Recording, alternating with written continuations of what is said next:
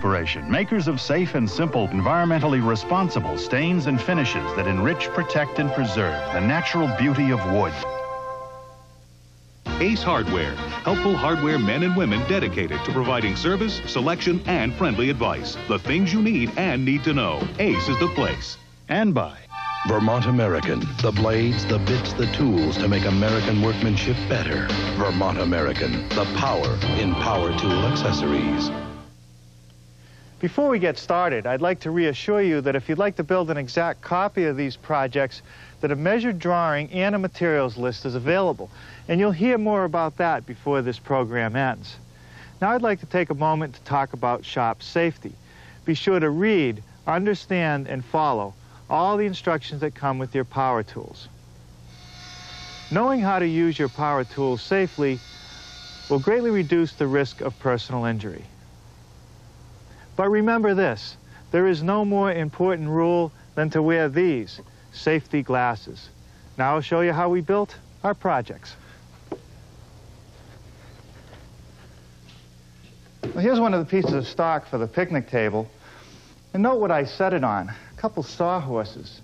And I thought we might have enough time in the program today to show you how to build some. Now, there are as many sawhorses as there are carpenters. We're the carpenter's best friend. We've got quite a collection here at the shop, and I want to show you some of the different versions we've accumulated over the years. Here's one that came from a project we did down in Santa Fe. We picked it up at the local home center, and it's definitely Southwestern. Look at this nice little step detail, sort of a typical architectural detail. It's built pretty well, notched in, glued, and fastened with some screws. Now here's sort of the high-tech version that was actually sent by a fan of this old house. It folds up. It's got a handle to carry it and some fancy hardware. It's pretty lightweight, but I think I'll save this for only the best paying customers. It's kind of fancy. Now, if that's an example of high tech, this is an example of low tech. This one's been around the shop for a while. We don't know who built it, but it's made out of plywood, furring strips, nice wide top, but somebody set the circular saw too deep and cut right through it. But even at that, it still won't die. Look at this, a nice little sort of miniature version of a sawhorse. Now, when it comes to building a sawhorse, there are several things that I think are important to make it work well. And the first thing is the height. After all, it is a sawhorse, and I want to be able to saw on it. I want to be able to put my leg up on it to hold the work, use my circular saw or my hand saw. If it's too high, it's very uncomfortable as well as if it's too low. I want it to be strong, yet lightweight. So I use just boards to put it together with plywood to brace the legs so that they won't flop back and forth. And it eliminates the need for bracing, which makes it impossible to stack them. Now, I've built dozens of this style. Occasionally, I added an embellishment, which was this tool shelf, a place to store nails, the chalk line, or your square. It also functions well as a step ladder. You can step up on the tray, and that allows you to reach some of those higher places. Let's see if we can put a couple together.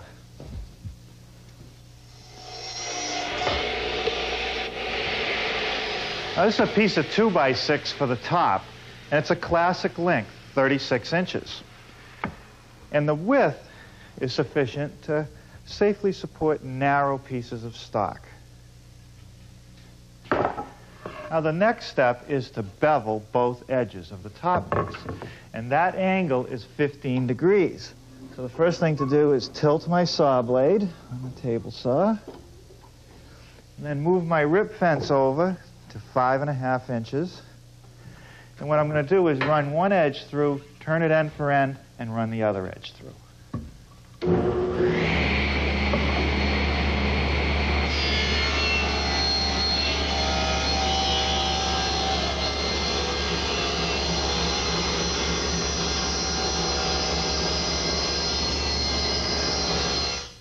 The legs for our sawhorses start out as one by six spruce boards.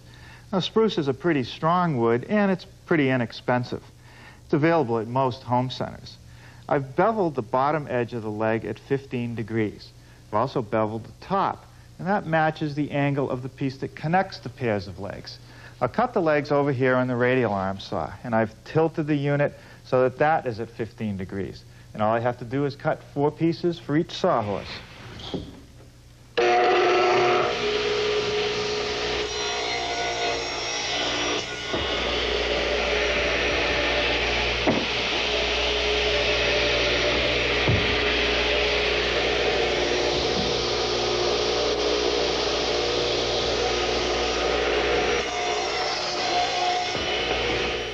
On this style sawhorse, there are two gussets on each pair of legs.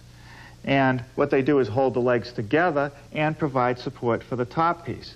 They're made out of plywood, any old scrap that I happen to have around the shop, as long as it's a half inch or thicker. I start out with a strip eight inches wide. I've turned the arm on my radial to 15 degrees, and I put a pencil mark down here to indicate the right length, which is about 11 and a quarter inches. So I'll just cut my pieces.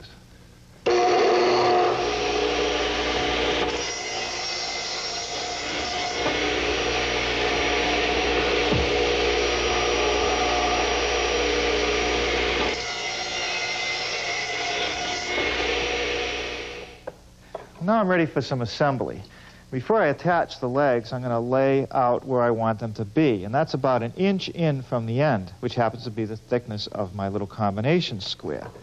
So we'll just put a pencil mark on each end. Apply a little bit of construction adhesive to help reinforce the joint. And what I'll do is pre-drill and then attach the leg with drywall screws.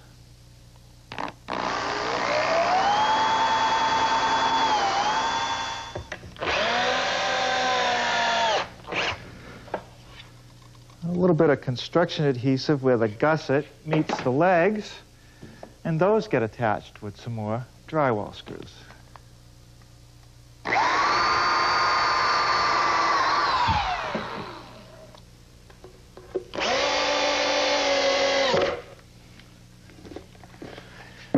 Well, I think you'll agree that's pretty simple. Now, if you're going to add the shelf, you start out with the same basic sawhorse, the same top and the same legs. But you need to add a few more pieces. One is this rail, which adds support to the shelf. And the other is a slightly longer gusset with a dado to also add support to the shelf. Now, I've set up my table saw with my dado head cutter for a 5 8 width and a quarter inch depth and I'll make the dado in the gusset.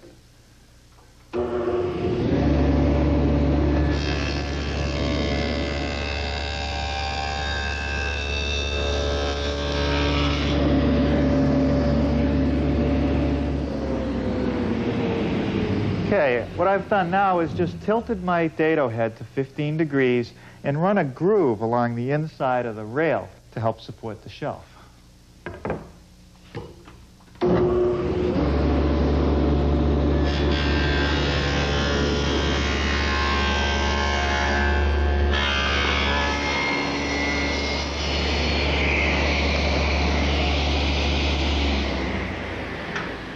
And what I've actually done here is run the piece through the saw blade to bevel the top so that it'll be flat with the shelf. Now we'll just fit the shelf into the dados we cut, which I've filled with a little bit of construction adhesive. And we may need just a little bit of persuasion.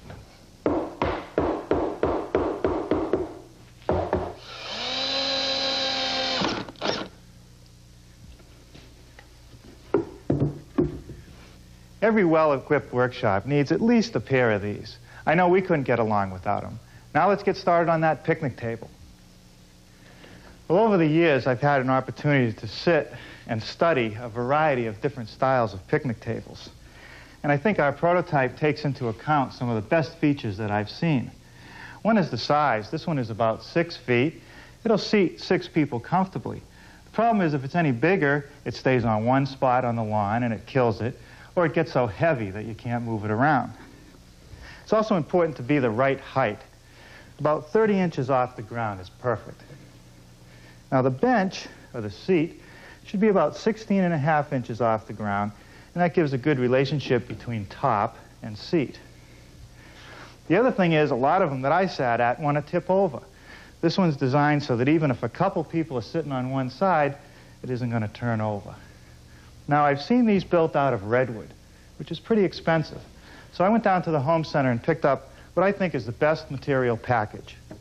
This piece of pressure-treated 2x6 is for the legs. I learned the hard way on my first picnic table that the legs are what goes first. They rot out. With this material, it'll last forever. Now, for the top and for the bench, I'm using spruce. I don't use pressure-treated because I don't like the idea of food coming in contact with treated lumber. Now, this spruce is really just framing lumber. It's inexpensive, it's light, and I can tell you from personal experience that after you finish the table, if you put a couple coats of stain on it, then stain it every four or five years, it'll last for 20 years. Now, we'll start today by making the legs. They're angled at the bottom and at the top at a 20 degree angle. The measurement from the short point to the long point is 30 inches. And we'll cut those over on the radial arm. First, I'll cut the 20 degree angle on the end of the piece.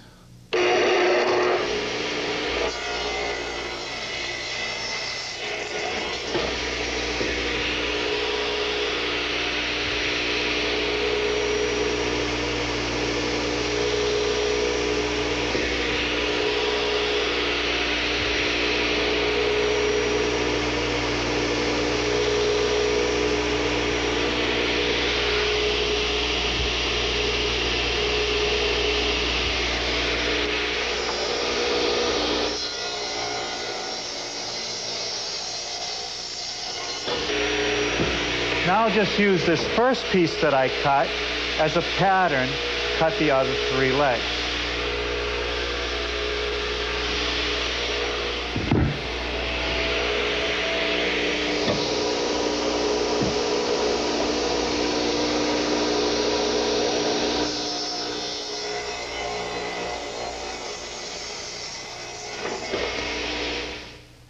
The next piece to cut is this 4 by 4 in most tables that I've seen, you would see a 2 by 6 or a 2 by 8 just simply bolted on the inside of the leg.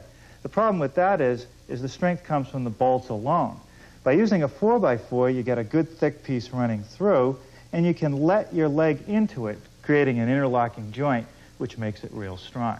Now, the overall length of the piece is 67 inches, and I've beveled the end at 20 degrees so you won't catch yourself on it.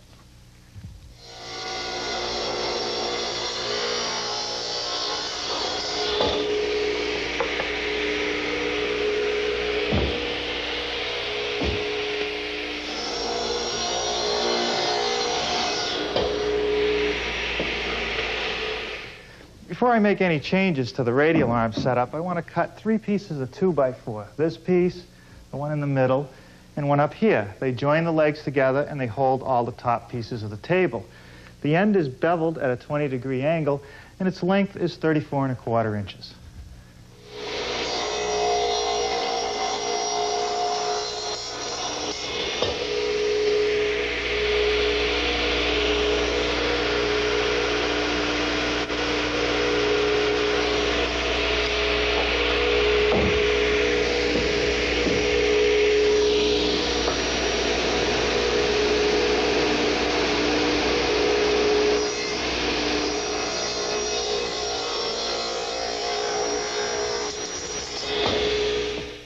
Next step is to remove the material from the cleat and from the 4x4 necessary to set the leg in.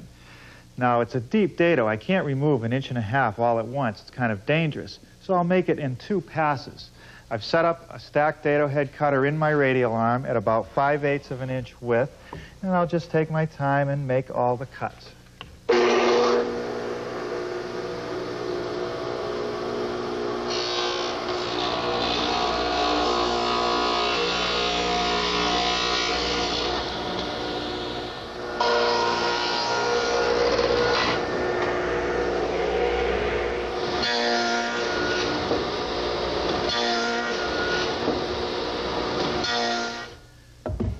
Finish deepening that dado in a minute. But before that, I want to cut the opposing angle. And to do that, I have to turn my radial arm so that it's on the other side of zero by 20 degrees.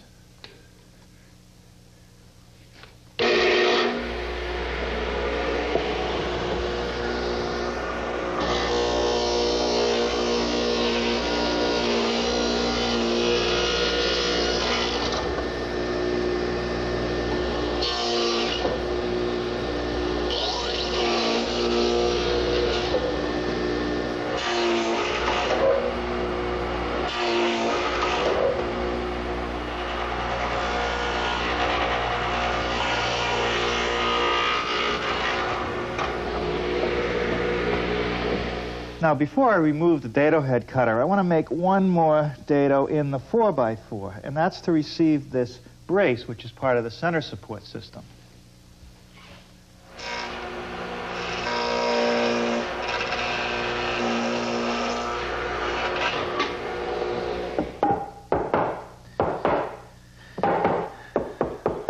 Okay, now with one of the leg sub-assemblies fitted together, I'm going to secure each joint with one eight-penny finish nail. And that'll hold everything in position while I drill holes for the bolts.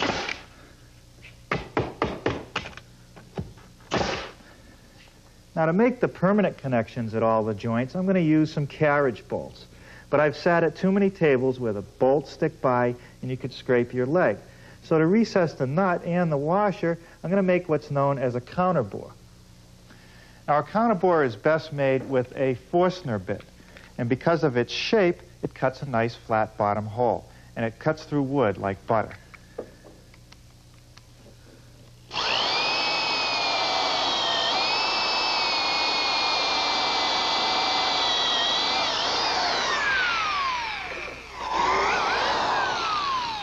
Okay, now I can switch to a 3 8 inch diameter bit and drill a hole all the way through for the bolt.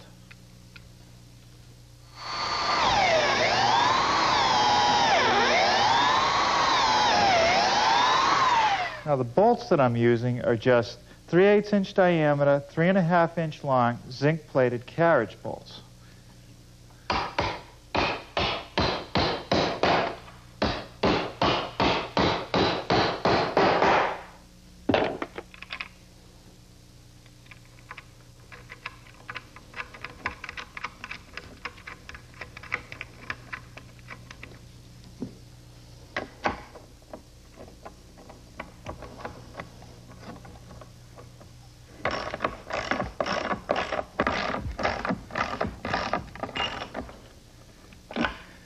That's not going to go anywhere.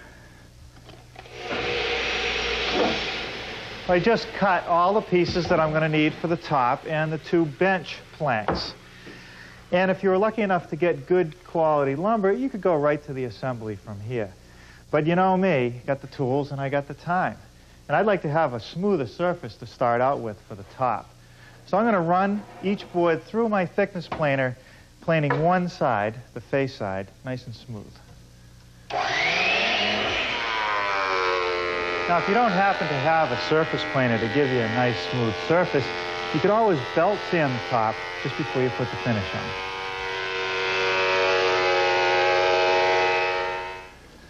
Now, with all the boards for the top face side down on my sawhorses, I'm going to put a clamp on each end just to squeeze the boards tightly together. And then I'll be ready to fasten the leg sub-assemblies.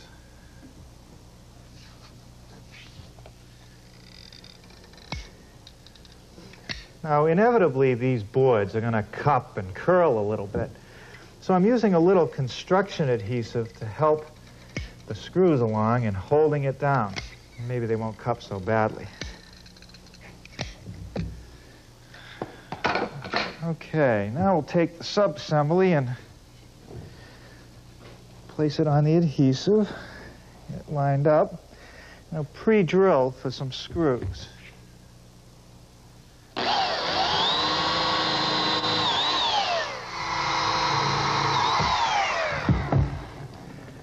Now the screws I'm using are two and a half inch bugle head screws and they're galvanized. And what I'm trying to do here is get three screws in each board.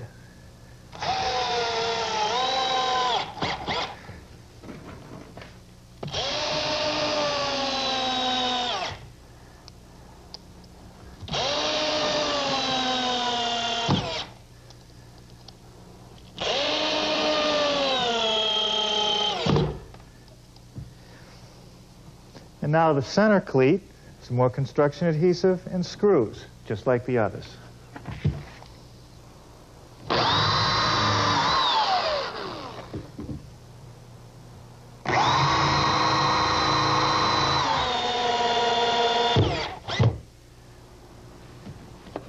Let's take another look at the prototype. Underneath, there's a brace that runs from the legs to stabilize them up to the center of the table to add some support there.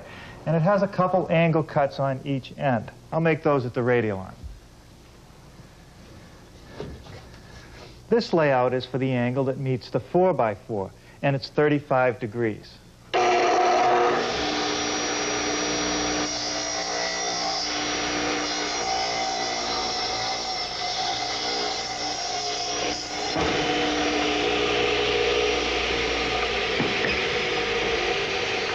And this is the layout where it meets the 2x4 in the center of the table, and that's also 35 degrees.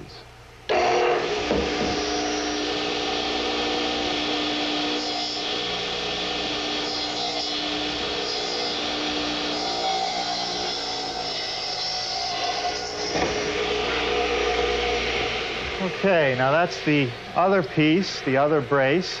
And now what I have to do is turn my radial arm back to 90 degrees.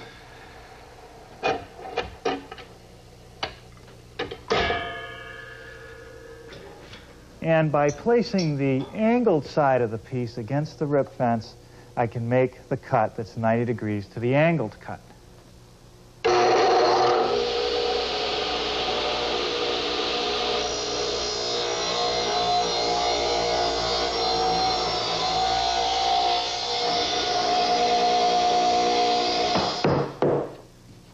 Fits pretty good. Now to secure the brace to the 4x4, I'm going to use a lag bolt, a 4-inch lag bolt. And I want to countersink the head, so I'm going to start with an inch and a quarter counterbore.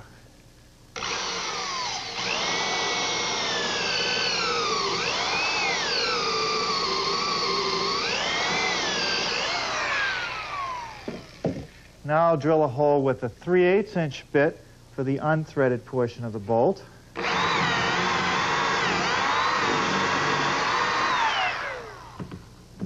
Now a pilot hole with a quarter inch size for the threaded portion.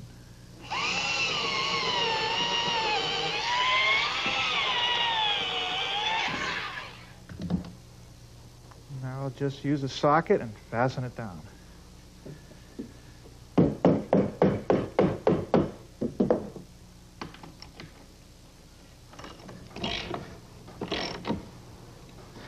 Okay, now for a couple screws down at the center brace.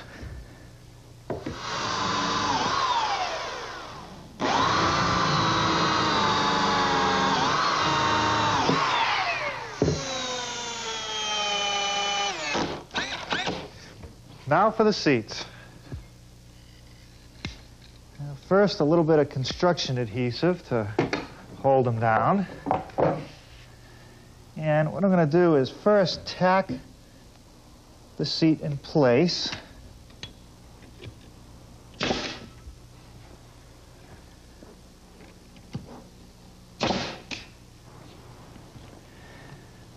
Now a pilot hole and countersink.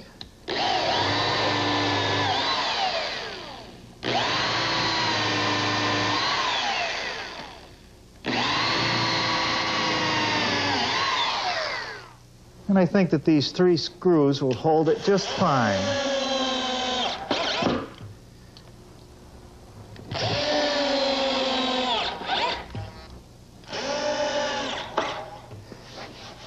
Okay.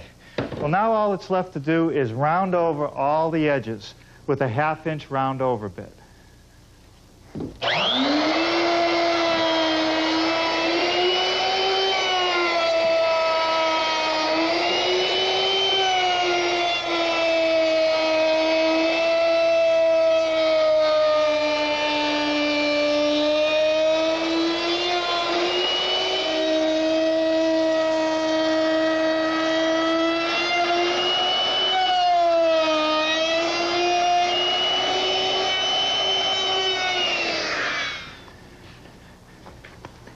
Were a couple fun projects to build. And now I guess I better think about a couple coats of stain for the picnic table. Now for a finish on my picnic table, I'm just using a good quality oil stain. I'm putting it on with a bristle brush, and I'm just going to let it soak in. I'm not going to rub it off, and I want to make sure that I cover all surfaces. Well, I'm not sure which of these projects, the sawhorses or the picnic table, will get the most use, but one thing is for sure, they'll last for years. Next time, we'll build this shaker blanket chest, and it features a deep storage compartment at the top and a couple good-sized drawers down below. You won't want to miss it. That's next time, right here on the New Yankee Workshop. The New Yankee Workshop is made possible by Parks Corporation, makers of safe and simple, environmentally responsible stains and finishes that enrich, protect, and preserve the natural beauty of wood. Ace Hardware, helpful hardware men and women dedicated to providing service, selection, and friendly advice. The things you need and need to know. Ace is the place.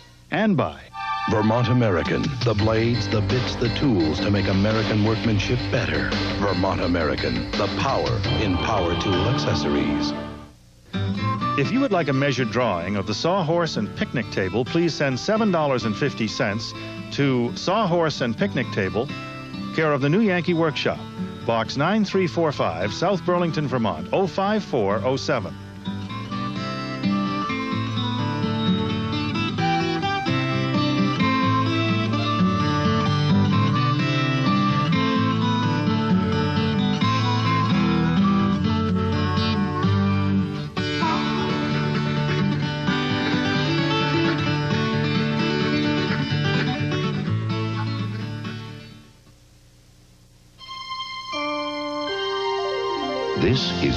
PBS.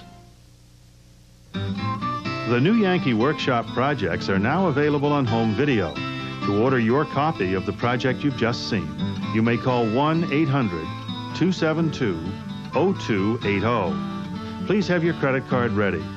Each home video includes a measured drawing and a materials list with all the dimensions you will need to build your project. The price for this home video is $24.95 plus shipping and handling. You're watching KOCE 50, Huntington Beach, Orange County, celebrating 20 years. They're back. Monty Python. Oh, you mean the rock group? The comedy troupe that needs no introduction returns to the place where it all began. Sex and violence, we, we like that. Get ready for something completely different. Sneak a peek into the life of Python. Coming August 12th on KOCE. It's a marathon. The Are You Being Served Marathon. What do you suppose that means? Get ready for the most slapstick, the most ridiculous, Oh, oh, oh, little boy, have I got a surprise for you? The most fun Friday night on television. You chauvinistic! It's the best of Are You Being Served? I'm quite looking forward to it. Coming August 13th to E. KOCE.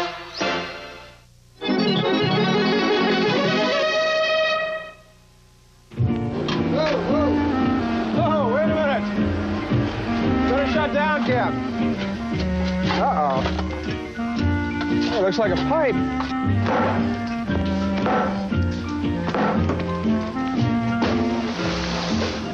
Funding for this old house is provided by Parks Corporation, makers of safe and simple, environmentally responsible stains and finishes that enrich, protect, and preserve the natural beauty of wood. and by State Farm Insurance. Keeping our promise of protection with auto, home, life, and health insurance. Now for the child in the family, a nice oak wagon. Another interesting piece was inspired by a Danish collection, a half-round table known as a console table. and incorporates curved rails and curved legs. Now let's get started with a project today that everybody can use in their workshop, a rolling shop cabinet. Plenty of storage down below, a large drawer at the top, and it's meant to be used next to the table saw or as a station for many other portable tools. Some have even suggested that maybe it should be used as a microwave cart in the kitchen. I'll show you how to build that next, right here in the New Yankee Workshop. The New Yankee Workshop features the craftsmanship of Norm Abram and is made possible by Parks Corporation, makers of safe and simple, environmentally responsible stains and finishes that enrich, protect, and preserve the natural beauty of wood. Vermont American, the blades, the bits, the tools to make American workmanship better. Vermont American, the power in power tool accessories. And by Delta International Machinery Corporation. For generations, Delta has been making a full line of precision woodworking tools available through local woodworking dealers, hardware stores, and home centers.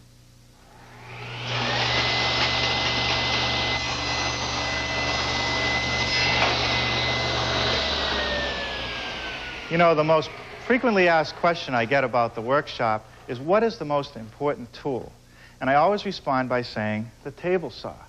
One like this, with a good cast iron table and a good rip fence, one that'll stay parallel to the blade, giving you nice true cuts. Now, if you buy anything any smaller than this, you might be a little bit disappointed, especially when you're trying to handle big sheets of plywood to build cabinets. Now, as good as this saw is out of the box from the factory, you can make it even more versatile by building some accessories, like this roll-around shop cabinet. Now, a lot of thought went into designing this. First of all, the casters make it easy to move into position. And the height of the top is even with the saw. Now, the choice of the laminate was not an accident. It was from experience, from accessories that we have on our shop saw.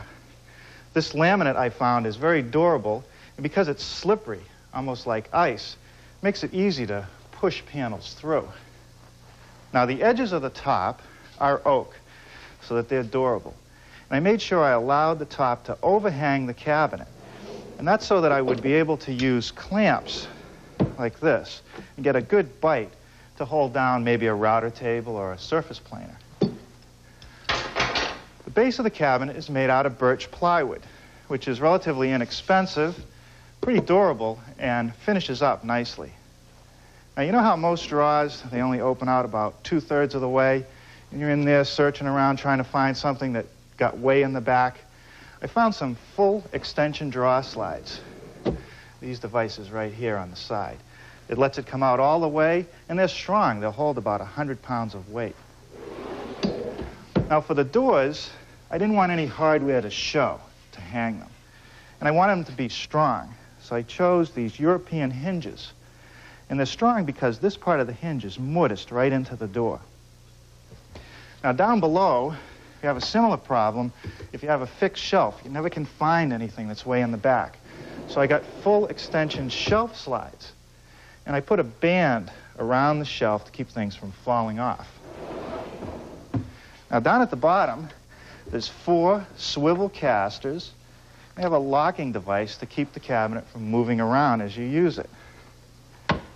Now, if you'd like to build an exact copy of today's project, a measure drawing and a materials list is available. And you'll hear more about that before this program ends. I'd also like to take a moment to talk about shop safety. Be sure to read, understand, and follow all the safety rules that come with your power tools. Knowing how to use your power tools properly will greatly reduce the risk of personal injury. And remember this, there is no more important safety rule than to wear these safety glasses. Now, here's some of the plywood that I picked up at my plywood outlet. And they offer a couple nice services. One is that I don't have to buy full sheets, which is especially good on a project like this because I really need one and one-third sheets. The other thing is that they offer a free cutting service. So I had them cut me some panels a little bit larger than what I need, and I'm going to true up all the edges using my table saw. Now, it's very important to use a good blade when you're cutting veneers. It should be one that's designed for cutting veneer plywood. And carbide tips, and notice how many teeth. In this case, 60. And what that'll do is minimize any chipping of the veneer. So now I'm ready to size the panels.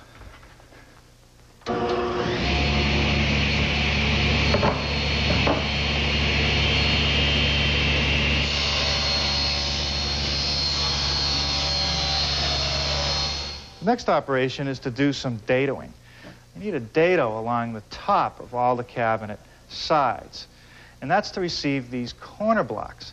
Suppose you could just nail them in place, but by sitting them in a dado, you get a bigger glue surface and just a stronger block. Because this block reinforces the top of the cabinet and gives me a place to fasten the countertop. I also need a dado that runs down along the inside of the side panels into which the back will fit. And there's one more set of dados down at the bottom of the side and back panels into which the fixed shelf will fit.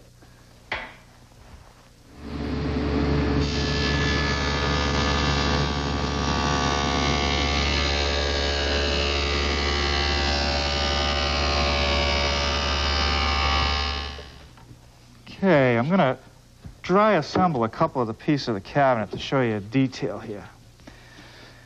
Now, all the edges of the veneer plywood that show, I'm going to cover with this thin birch veneer. I'm going to put a piece here, and I'm actually going to put a piece here to cover up the dado that I don't want to see. But I'm afraid that if I don't fill that dado, this veneer is too thin and not strong enough. So I'm going to fill the void with some little pine fillers and just use some hot glue to hold them in place.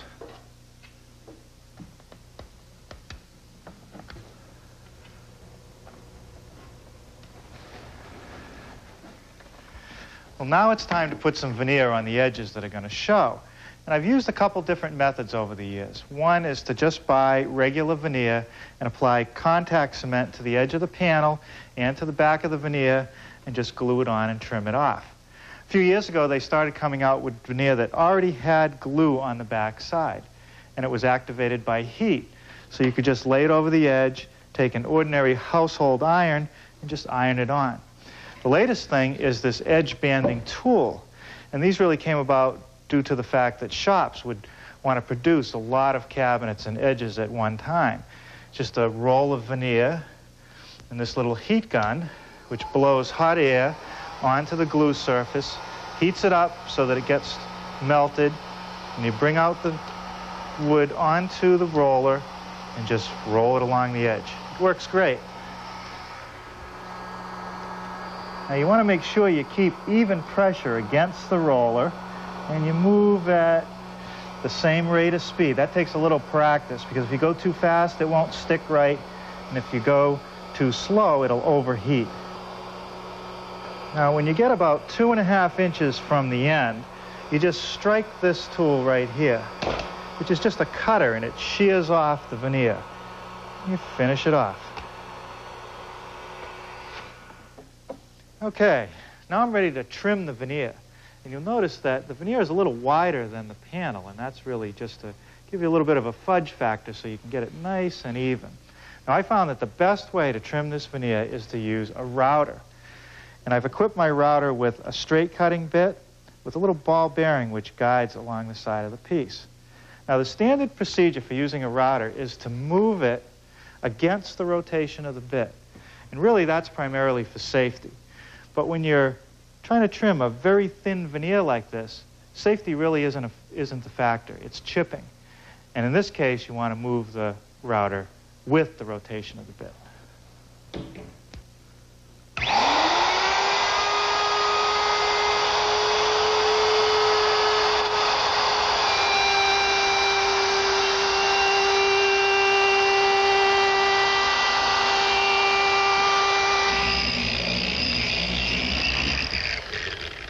Now to make sure that everything is absolutely even, a quick run over the edge with the sander, and that takes care of it. Well, now I'm ready for a little assembly. A little bit of glue in the dados. And then when you're working with veneer plywood, it's also a good idea to put a little bit of glue right on the edge of the panel that's going to fit into the dado. Because the veneer tends to absorb the glue quickly.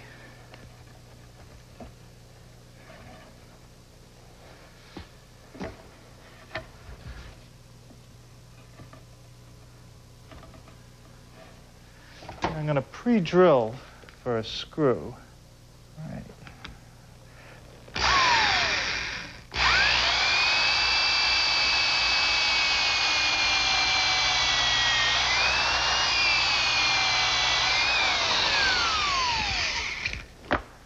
Now I counterbore the hole a little bit. I'm going to plug that with a little plug later.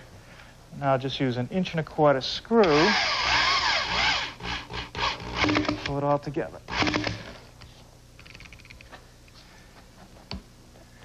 Okay, I'm ready for the other side. And any glue that might squeeze out as I'm assembling it, I want to make sure I clean it up as quickly as possible, just with a damp sponge. Otherwise, the surface won't take the finish very well.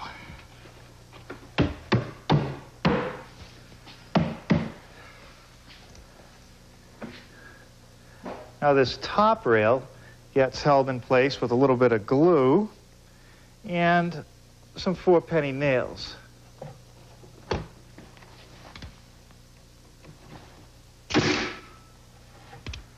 Now for the bottom rail, the same thing, a little glue and some four penny finish nails.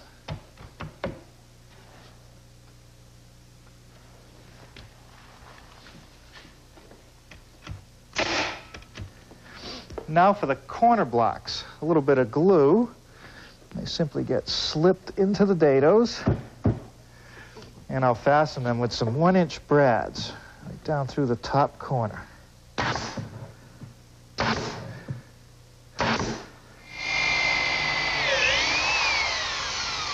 Now this center rail is pine, and that's because you don't really see it. It's hidden behind the draw front and the doors. And I'm using some screws to fasten it because I don't have any corner blocks to give it strength.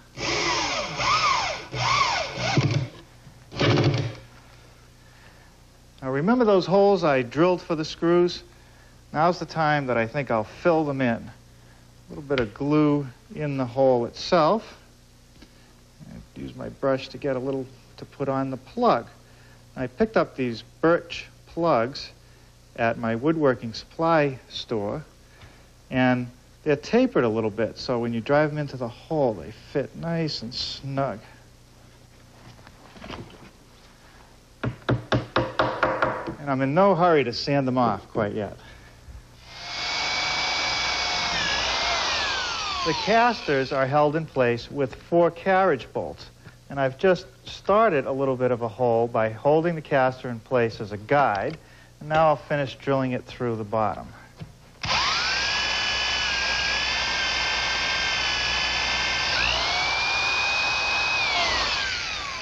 Okay, now just put carriage bolt through, give it a tap so it won't spin, and bolt the caster in place.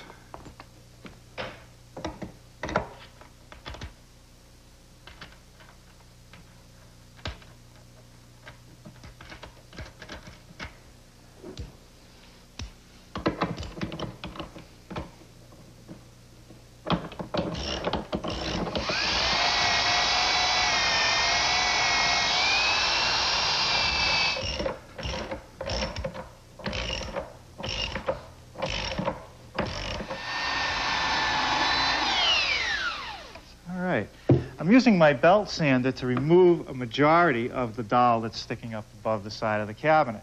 Then I'll sand everything smooth with my finishing sander. And that should do it for today. Tomorrow, we'll finish it up.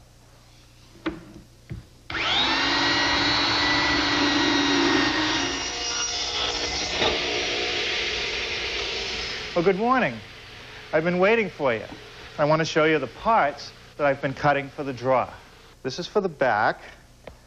These two pieces are the sides, and this large piece is for the bottom. And they're all half-inch AC plywood. Now, clamped in the bench vise is another piece of birch for the draw front that I've edged, and I'm getting ready to cut a dovetail joint. I'll show you what I mean. This is a different method of joining a draw front to a side. It's a sliding dovetail. The side slides in through the joint, really making it secure. Now to cut that joint, the first thing that I have to do is lay out the center of the dovetail cut. And I also put an indicator mark here. I don't want to go all the way through and show the dovetail at the top of the draw. Over here is a layout line, an offset, that I'm going to set this clamp on and use it as a guide for my router. Now the router is set up with a half-inch dovetailing bit. And the key here is to hold the router tight to the back of the draw front and against the guide. Move it slowly in, watching through the base of the router and stopping right at that indicator mark. Now I got to be careful because if I pull the router out while it's running, I'm going to ruin the joint because it's tapered. The bit is tapered. I just want to move it in slowly, shut it off, and push it back out again. I'm going to need your prayers.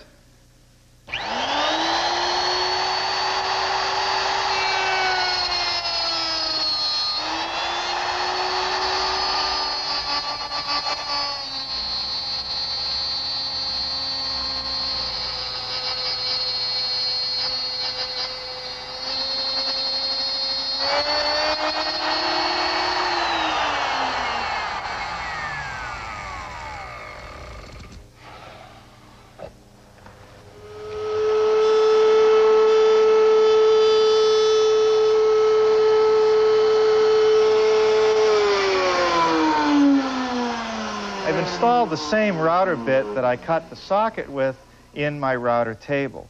And by carefully adjusting the rip fence, I've made this sample to see how it's going to fit. Let's check it out. Just snug, that's what I want. Now I can run the sides through.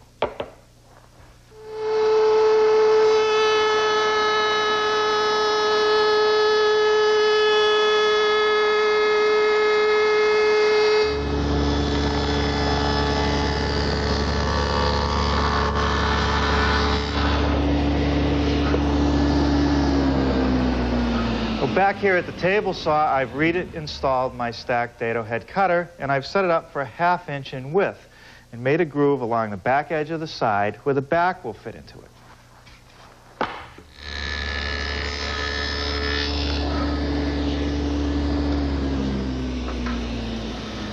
Well, that takes care of the groove for the bottom of the draw to fit into. Now to make the groove in the draw front, which is going to receive the bottom, I can't do it on my table saw because it'll show through the ends. But I can use my portable router, which I've equipped with a half-inch straight bit and a guide fence. I'm just going to drop it in near one of the dovetail sockets and run to the other one.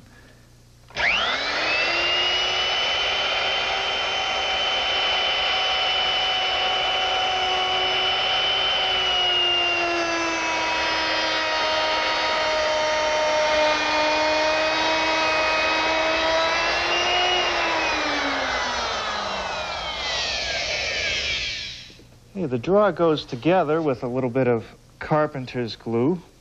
Let me just slide this joint together.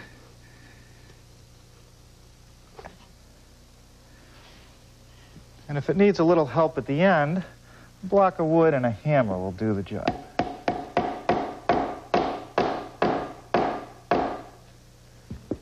The back of the draw gets glued and nailed into place.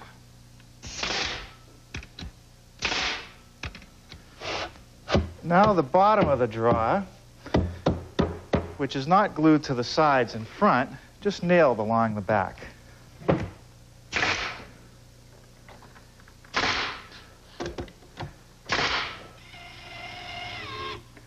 Installing the draw slides is just a matter of following the manufacturer's instructions.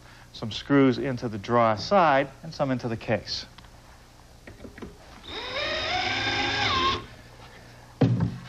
Let's see how it fits. Slip it together. Good. Now let's put the doors on. Now the doors, more edge-banded plywood, need two 35 millimeter diameter holes for the hinges.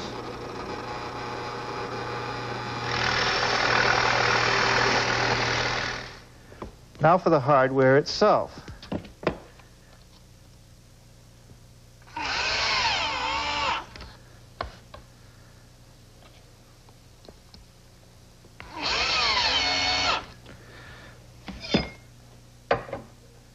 Manufacturer of the hinge will sell you this little template which makes it easier to locate the hinge on the case.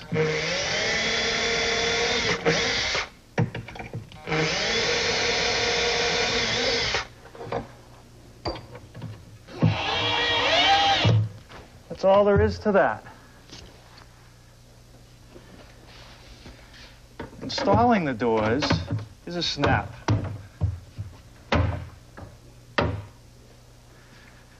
The top of the cabinet is made from three-quarter inch high-density particle board. There's two by fours around the bottom edge to give it some thickness, and it's all banded in oak. I've already cut the particle board to size and the two by fours that go underneath it. I'm just going to use a little bit of glue and some screws to fasten the two bys.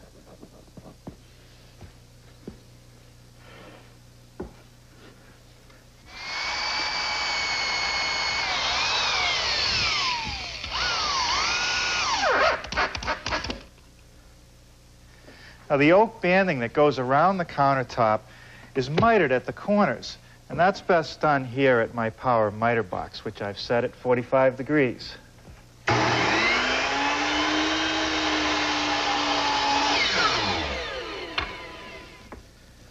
like to secure the oak band to the counter blank with a little bit of glue. And what I'm going to do first is nail the corners together with some brads. And then I'll secure the rest of the band with some screws.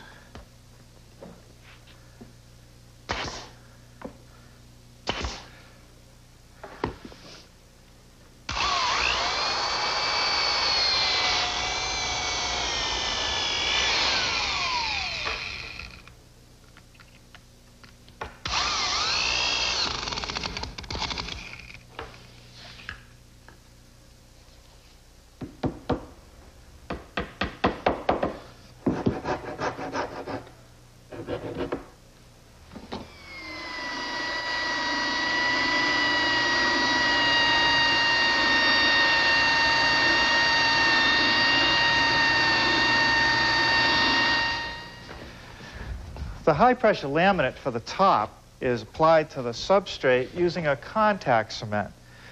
We'll put a little bit out on the piece, roll it on each piece, and when it's dry, carefully attach them together. Now see, that's just dry. Now you only get one shot at this. This is contact cement. Once it touches, that's it. So I've cut the piece a little oversized. Get it lined up on the edge here. Drop it down.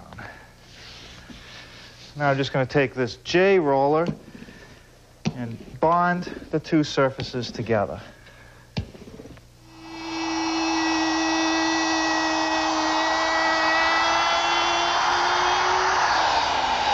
I'm using the same router bit that I trimmed the wood veneer with a little bit earlier.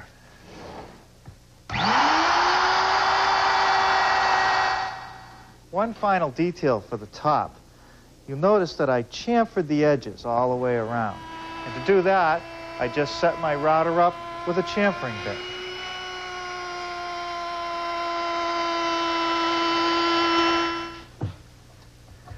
I'm going to secure the top to the base with four two-inch screws through those corner blocks we put in earlier. These cleats will hold the hardware for the sliding shelf.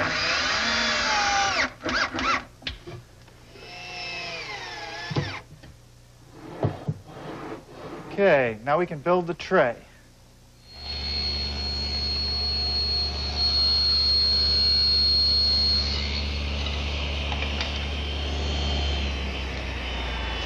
Using the table saw, I've made this rabbet, which will receive the bottom of the tray. Just as with the edges on the countertop, I've mitered all the corners over at the power miter box, and now I'm attaching the edges with glue and some one-inch brads.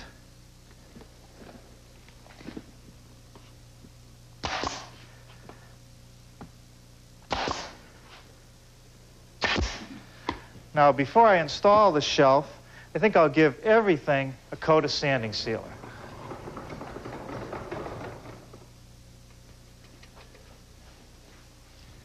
This is a water-based sanding sealer.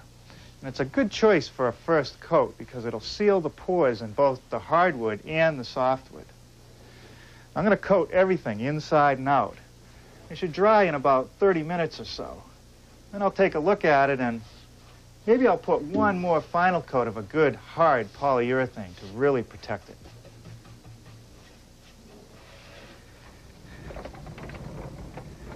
Ever since I built this shop cabinet several months ago, I kicked myself for not having done it sooner.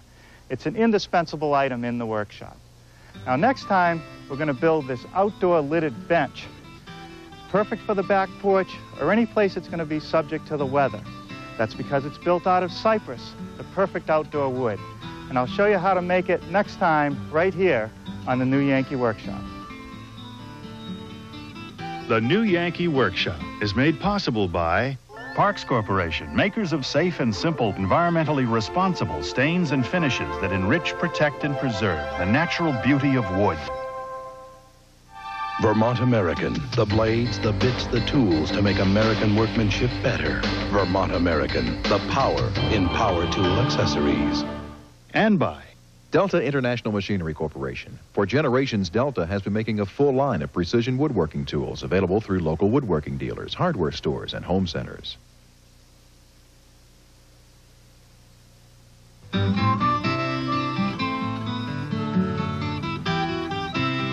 Tomorrow, KCET ventures outdoors for the delightful series Gardens of the World with Audrey Hepburn.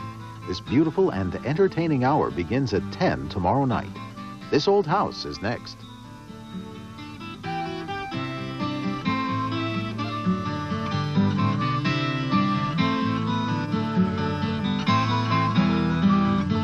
To order a measured drawing of the rolling shop cabinet, please send $7.50 to Rolling Shop Cabinet, care of the New Yankee Workshop, Box 9345, South Burlington, Vermont, 05407. This is PBS. The new Yankee Workshop projects are now available on home video. To order your copy of the project you've just seen, you may call 1 800 892 0110. Please have your credit card ready. Each home video includes a measured drawing and a materials list with all the dimensions you will need to build your project. The price for this home video is $24.95 plus shipping and handling. Don't you just love watching other people work? Then get set for This Old House coming up next. Next on Mystery, treachery in the final hours. What exactly do you care about? I tell you one thing, lady, I'm gonna get your kids back for you. If there's a problem, I always deal with it. But tonight we'll have her right where you want her. The conclusion to Die Kinder on Mystery. Tonight at 9 on KCET. This is KCET 28 Los Angeles, member supported television for Southern and Central California. Thanks to our members and the following for supporting KCET's programming today. Deft, maker of America's biodegradable wood stains, is proud to be supporting creative and educational programming on KCET. We think that's important. She does too. Deft, the wood finish family.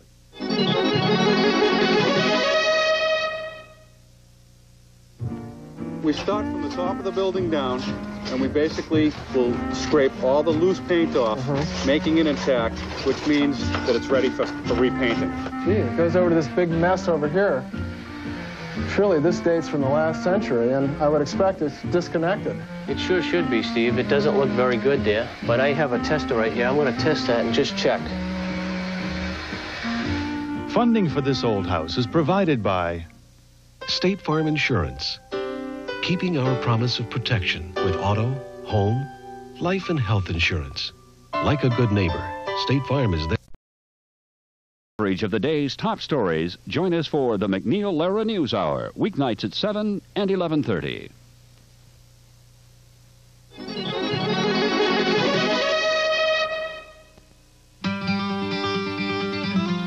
Hi, I'm Norm Abram. Welcome to the New Yankee Workshop. But today we're going to build this classic plant stand, perfect for displaying your favorite plant. We found the original in an antique store in England. We'll take you there next. Then I'll show you how to build one of these for your own home right here in the New Yankee Workshop. The New Yankee Workshop features the craftsmanship of Norm Abram and is made possible by Parks Corporation, makers of safe and simple, environmentally responsible stains and finishes that enrich, protect, and preserve the natural beauty of wood. Delta International Machinery Corporation. For generations, Delta has been making a full line of precision woodworking tools available through hardware stores and home centers. And by Vermont American. The blades, the bits, the tools to make American workmanship better. Vermont American. The power in power tool accessories.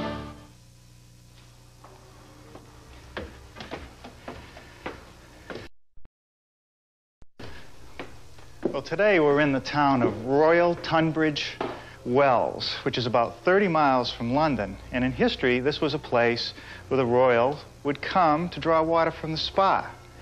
We're in a shop known as Upcountry, and it's packed full of antiques, both English and continental.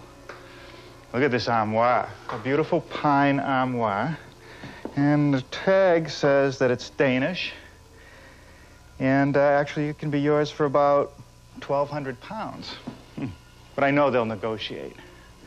And over here, it's a nice uh, farmhouse type of table. This is French, a scrubbed pine. You can still feel the wear of the top. This can be yours for also 1,200 pounds. And if you like, you can even pick up the china. Now, this is an interesting piece. There's a little wooden latch, which allows a pair of the legs to swing around so that the top can flip down. It makes it very portable. And what it's for is wine tasting. You could take the table from vineyard to vineyard, set it up very quickly, and try out the wine. Oh, and look at this. All over Britain, I've been looking at pieces with these wormholes. Now, they tell me that the worms are not active, but that the wormholes add a lot of value to the piece. I also think it kind of adds a lot of character. Now, what I brought you to see is over here in the corner. It's a, just a tall plant stand. It has very delicately tapered legs, an intermediate shelf to hold it all together. Actually, uh, put another plant right here. The rails are just thin pine that sit in mortises and then, of course, a pine top, place to put your favorite Boston fern. What I like about it is that it's very simple, yet it's elegant, and I think it's going to be pretty easy to build. So maybe we'll do a couple.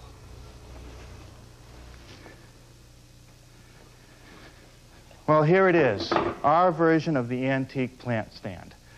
I made it out of pine like the one we saw at Upcountry Antiques, and I maintained the tapered leg. The only difference that I have is that the rail that supports the intermediate shelf is mortised into the leg instead of just nailed onto the inside. So now if you have a big Boston fern that you want to set in your living room where no one can touch it, you might want to build a couple of these. And we will have a measured drawing and a materials list, which you'll hear more about before the program ends. Now, before we get started today, I want to talk about shop safety. Be sure to read, follow, and understand all the safety rules that come with your power tools. Knowing how to use your power tools properly will greatly reduce the risk of personal injury. And remember this, there is no more important safety rule than to wear these safety glasses. Now to start our project today, I want to take this slab of what's called sugar pine that I picked up at my wood outlet and make some leg blanks. Now, it's a soft pine, even softer than the standard C or D select pine that we use on our projects. But it has a very fine grain. It doesn't have this coarse texture. It's very fine and straight, which makes it a good choice for a thin tapered leg.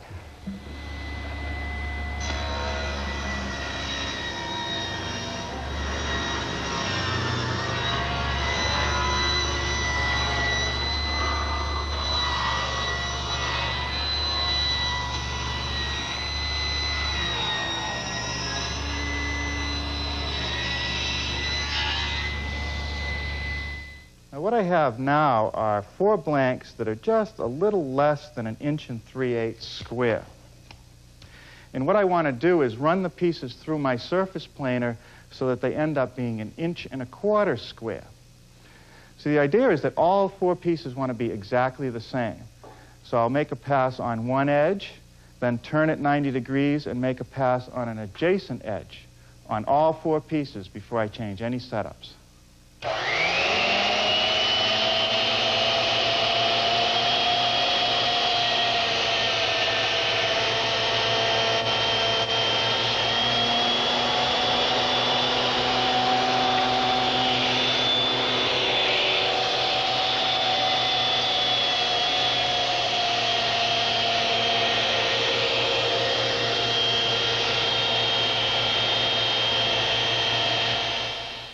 On the first pass, I removed about a sixteenth of an inch.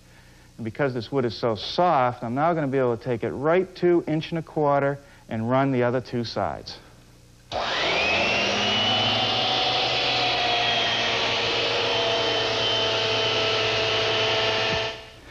Now, the standard way to taper a leg is to use one of these, a tapering jig. This is a homemade version. And what happens is when you place a piece of wood in it and keep the jig against the rip fence, as you push it through, it cuts at an angle, making the taper. But here I have a 50-inch leg, and I can't even get far enough back and have any kind of bearing on the rip fence. In fact, it would be pretty unsafe to even try it. So I guess it's time to build a jig for tapering longer legs. First thing I'm going to need is a piece of plywood. I always end up with these little strips of plywood from different projects, and I wonder why I save them. But it, on a day like today, this is where they come in handy. I'm going to cut a piece about 65 inches long.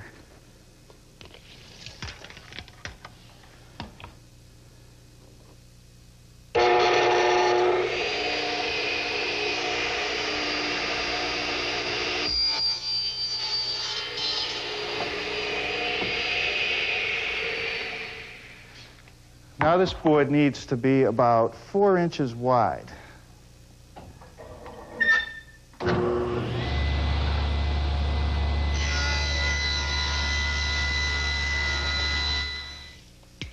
now a little layout. First I'm going to measure 49 and a half inches down, which is the overall length of the leg, and square a line across. I'm going to come up to this end and measure down five and a half inches.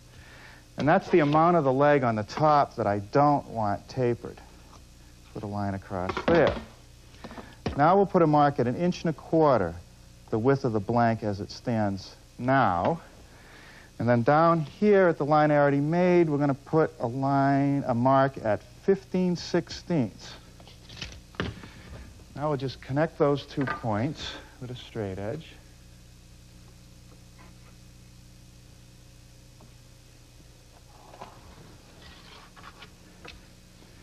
And take this scrap of plywood and fasten it right along the line.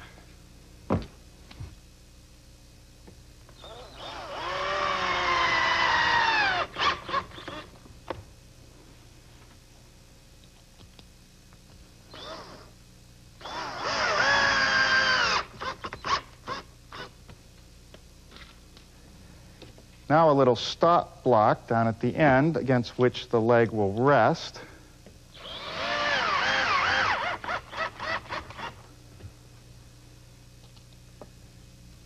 This little scrap of pine is really just a guard to keep the operator's fingers clear of the blade.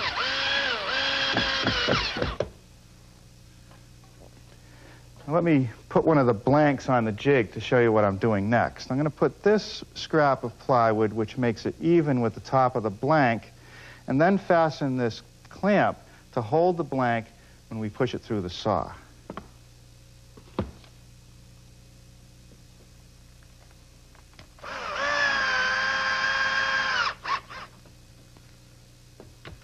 Now to secure the top and bottom of the blank, especially ones that might have a little bit of a curve to them, I'm driving a four penny finish nail at the bottom. I'm just going to snip it off so a little sticks out and acts like a little point. And up at the top, I'm just going to put a little screw through, and the point that protrudes through the top will hold the blank.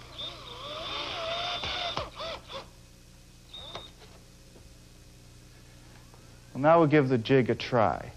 First, I'm going to take the blank and push it up against that bottom pin. Give it a little tap to set it. And up here on the top end, I'm just going to squeeze it down onto the point of that screw and tighten the clamp in the middle.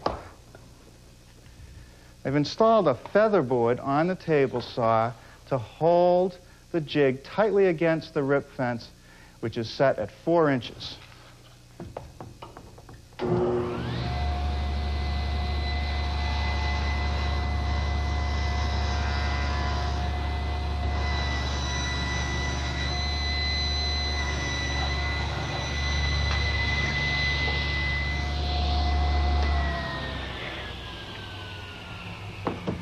Okay, now I'm going to take the blank, turn it 90 degrees, reset it in the jig, and cut the adjacent side.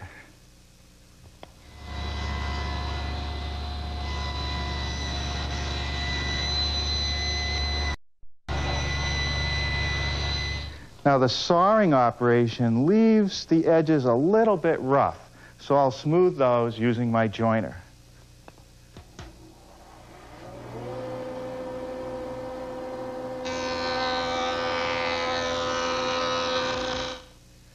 Now it's time to cut the legs to their final length.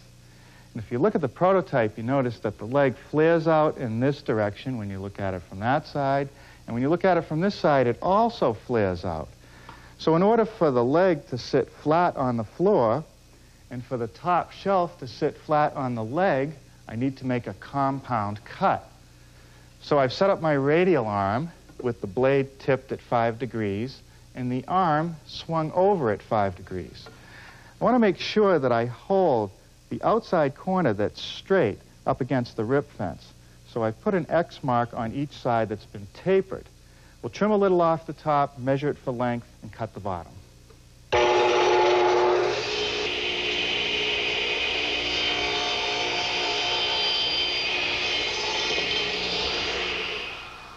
final length of my leg is 49 and a half inches.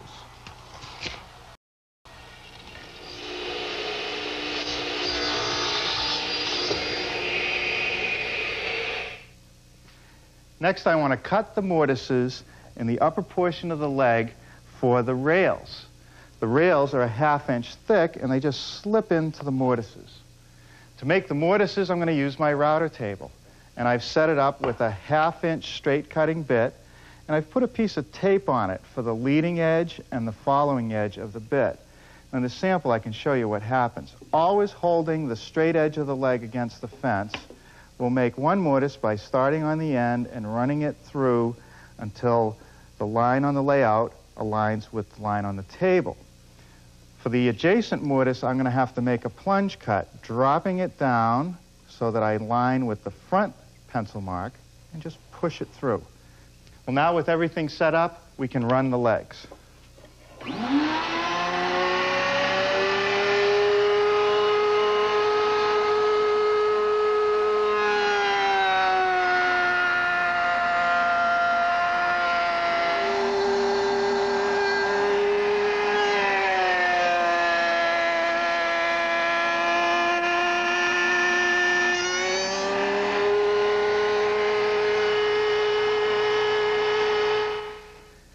The next step is to make the mortises for these intermediate rails. And to do that, I've moved the fence back about a sixteenth of an inch. And that's so the mortise will end up centered in the width of the leg at that point. The height is still the same. Now, I have to keep in mind that the straight side of the leg will always be against the fence. I'll make a plunge cut and a mortise that'll end up about an inch and a quarter long.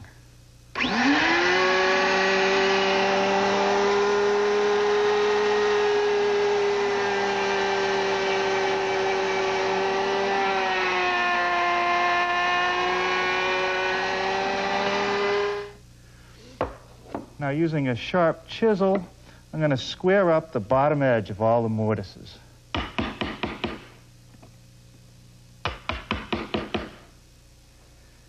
Top rails are made from half inch thick stock and I've ripped and jointed a piece to four inches wide.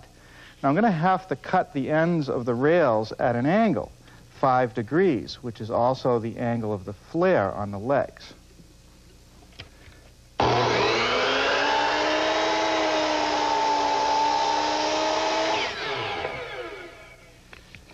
Now the length of the rail measured at the shortest point, which is across the top, is five and three quarters strong.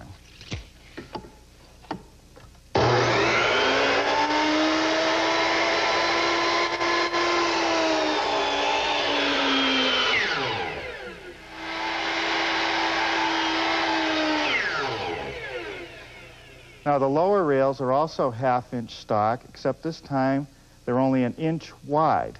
Cut at the same five degree angle, nine and seven eighths along the top edge. The next thing to work on is the lower shelf. It's made from half inch thick stock and it has to be notched around the legs. So I've taken a piece and laid out each corner, clamped it in the bench, and now I'm just going to cut them with my little dovetailing saw.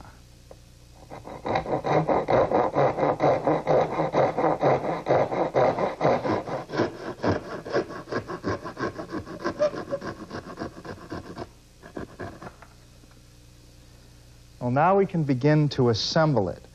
I'm going to apply a little bit of glue in all the mortises and some on the ends of all the rail pieces.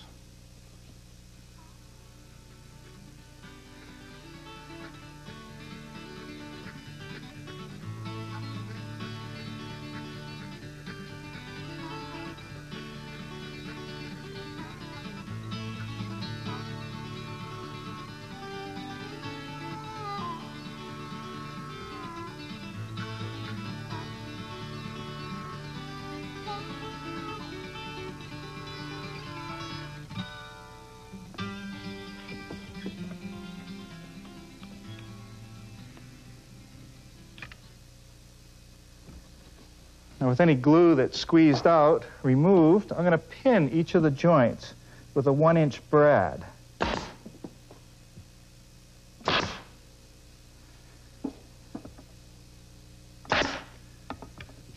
Okay, now let's set this one aside to dry and build another one. Now before I can attach the two subframes together, I'm going to have to clean this mortise out a little bit now because the rail sticks in on the corner. So I'll clean that up with my utility knife and my chisel. With two frames pre-assembled and those mortises cleaned out, I can now start to put the entire piece together.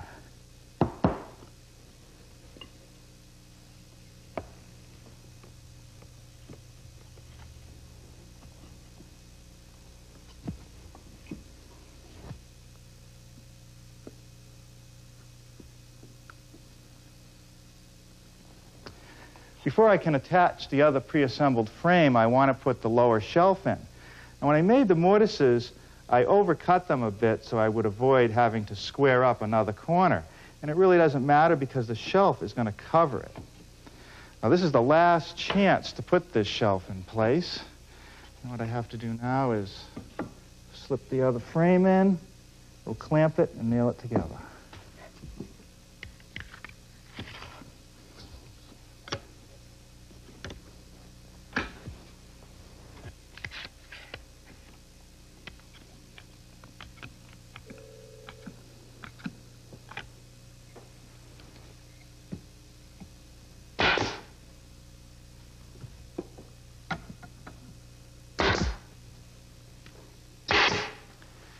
Right, now to secure the shelf, I've just put one nail in each side, no glue. That way it can expand and contract a bit if it has to. And with that, I think we'll set it aside to dry and come back to it tomorrow to finish it up.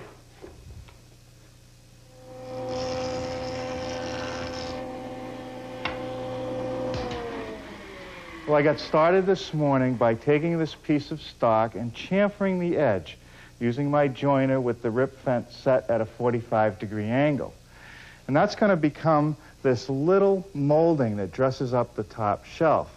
And I find that it's always easier and a lot safer to put the detail on the edge of the molding first and then cut out the smaller piece. It'll take two rip cuts to get the final piece of molding. The first one will be for the molding's thickness.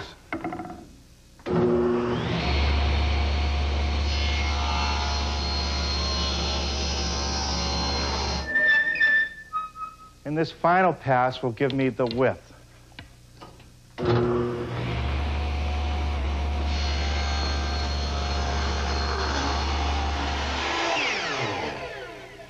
I've set my miter box at a 45 degree angle to cut all the pieces, and they'll be attached in place with some one inch brads.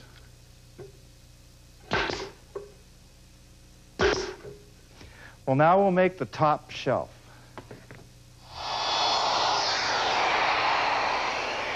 To ease the edges on my top shelf, I'm using my router, which I've equipped with a quarter inch rounding over bit, but I've only exposed a little bit of it below the table.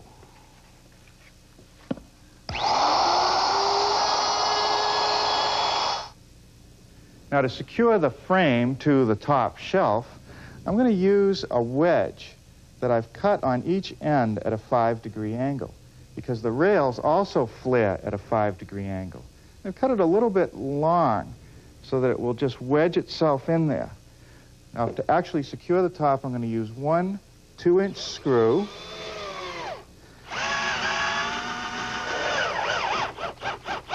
Right in the middle. You know what that does is secures the top shelf firmly to the base, yet it can still expand and contract with changes in moisture.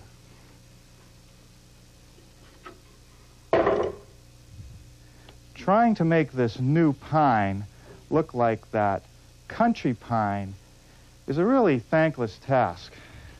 Even the pros over in England, who do it for a living, tell me that unless you're willing to take the piece and maybe dip it in a caustic solution and play around with a lot of different stains, it's still not going to come out looking like the antiques. So we're going to try a couple things of our own. Today I'm putting on a water-based stain. The color is called Spanish Oak. And I'm going to put it on with this foam brush to start, nice and even, and then take a rag and wipe off the excess. I'll do the whole piece, getting it as even as possible. After the stain was completely dry, I applied a coat of sanding sealer. And that's a good choice for the first coat because it fills the pores of the wood and it gives me a proper base for the final finished coat. I sanded everything with 220 grit sandpaper and I filled the nail holes with this soft putty. Now, it comes in a whole range of colors, and I simply found the one that was closest to my stain color and filled the holes. Now, it's soft, and it won't fall out of the holes later on because it doesn't dry out. With everything tacked down or all the dust removed, I'm ready for the final coats, which will be a gloss polyurethane. It's a water base, so it dries fairly quickly. I'll put on one coat, let it set for about 20 minutes, give it a light sanding, and put on the final coat. And then it'll be ready to use. Hey, hey, look at that. It works. And you know, I think we're getting real close with our combination of stains and polyurethanes to that English country pine look. It's a very useful project. And so isn't the one we're going to build next time. Give up? It's a, the Delft rack. It's meant to be hung on the wall, and along the shelves you would display your rare china or Delftware. There's even some cubbies for little knickknacks. Now, the original we found in a private collection in a castle over in England, and I'll take you there next time right here on the New Yankee Workshop. The New Yankee Workshop is made possible by Parks Corporation, makers of safe and simple, environmentally responsible stains and